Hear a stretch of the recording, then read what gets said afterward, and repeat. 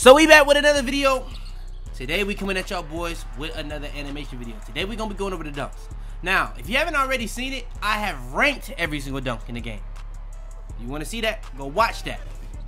If you haven't seen it already, I ranked every layup. If you haven't seen that, go watch that. If you haven't seen the contact dunk tutorial, I did that. Go watch that. All the links to those will be in the description. But today we're gonna be giving y'all the best dunks in the game. We're gonna be giving you guys the best layups in the game. If y'all do want more videos like this, make sure to like the video, subscribe if you're new. Further ado, let's hop into it.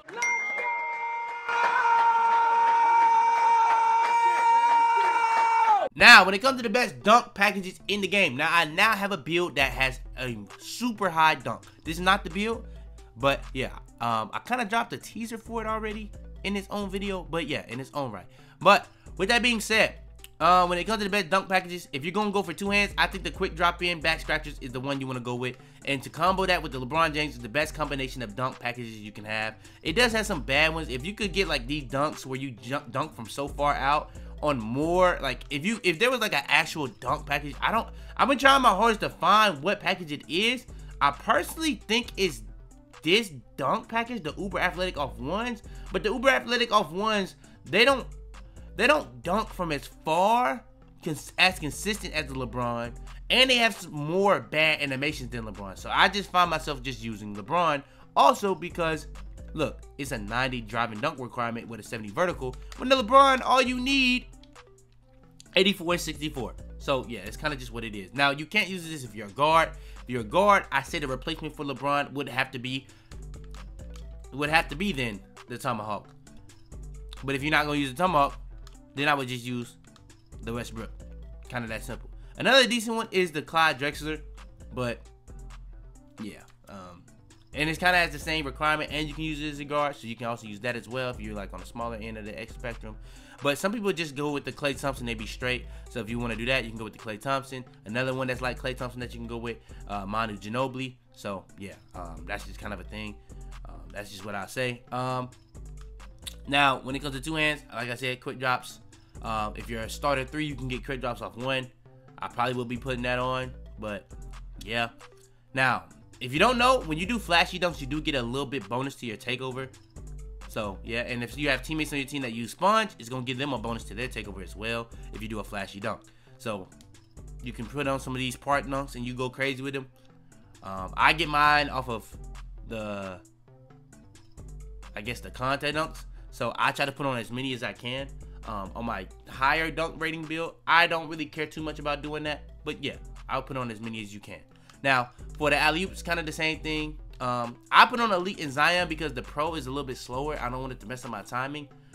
So that's kind of what it is. And when it comes to the alley-oops, I would say more so than the content so you want to put on these as many as you can. But me, I'm just a little, I just want to have the craziest contact dunk animation possible. So I just put on the elite. If I only get pro, I put on pro. Obviously, I just put on what I can. But if I can get the elite, I just put on the elite. Because I want the nastiest contact alley I can get.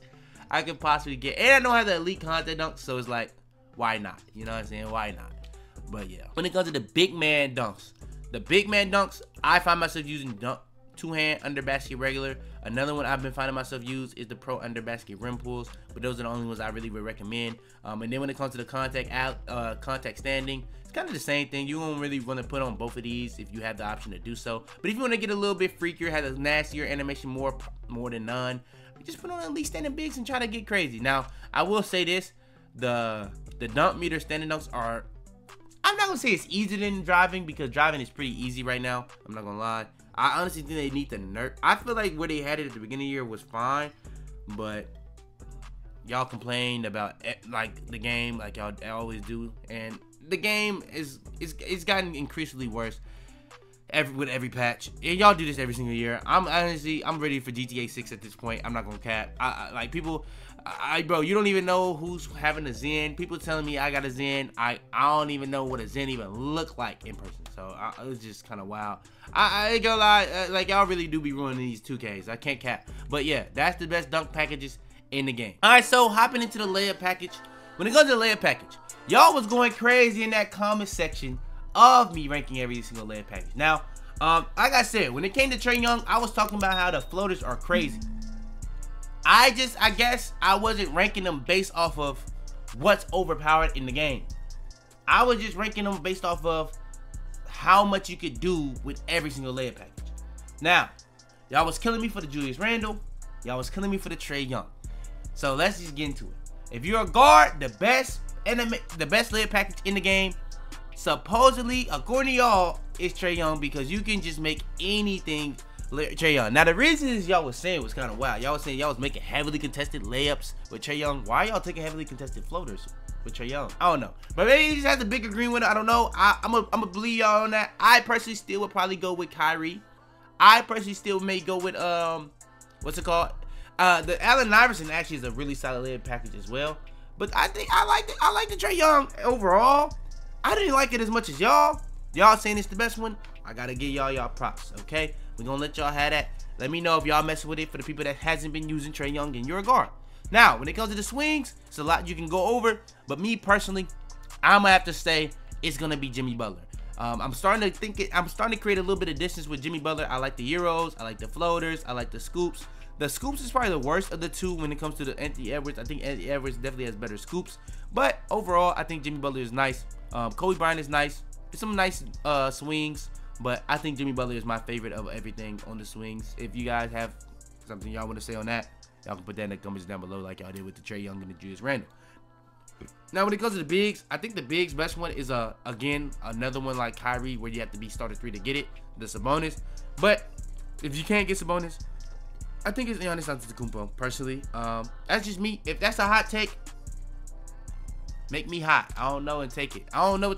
I don't know why I said that. But yeah, that's the best layups in my opinion in the game. But yeah, that's gonna be the best dunk packages in the game. Like I said in the intro, I did rank every single dunk package in the game. If you do want to see that, where I go over some other dunks that I didn't really go into this video because I really just went over the best that I use. Now there are some ones I really don't like to use, but they are some of the best in the game. So if you do want to see every single dunk package ranked in the game, there's a video for that. I ranked everything in layup.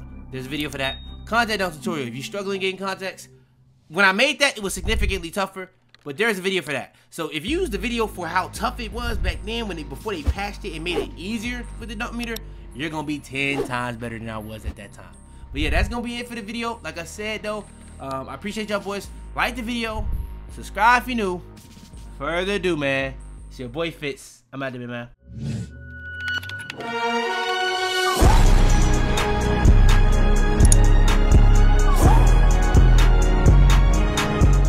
Tell them to bring me my money. Yeah! All right, next is post fade. I think a lot more people are gonna be using these post animations this year. Post is overpowered this year, and with the MIDI being what it is, come on. Post fade. Um, I think I think the best post fades personally is like the Kobe, the uh, the Jordan. Um, that's ones I would use. Some people may use even Dirk. I would probably use Kobe or Jordan. That's just really what it is. Jokic one is actually pretty solid as well. I'm not gonna lie.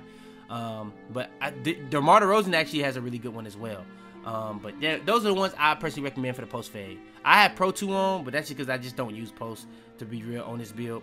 But yeah. Next is the hook. Um, the best hooks you got Vucevic, Embiid, Kareem. Those are the only ones you even need to worry about. You're toxic as hell. I don't even want to talk too much about this. You want to be toxic with these joints, go crazy. They're really good this year. Again, they uh patched them at one point, and then they buffed them again because apparently close shots needed to be buffed. They kind of got messed up when they nerfed Post Apparently, that's what Mike Wang said. And they buffed them again, and now they're still they're back to being overpowered again. They're not unguardable because defense in this game is really good. Don't let anybody on this game on this game tell you that defense is not good. There's more to defense this year than just pressing X, even though everybody wants to do that. But yeah. Next is the post hop shot. Uh, you got Kobe, you got the Dirk. Those are the two I would personally recommend.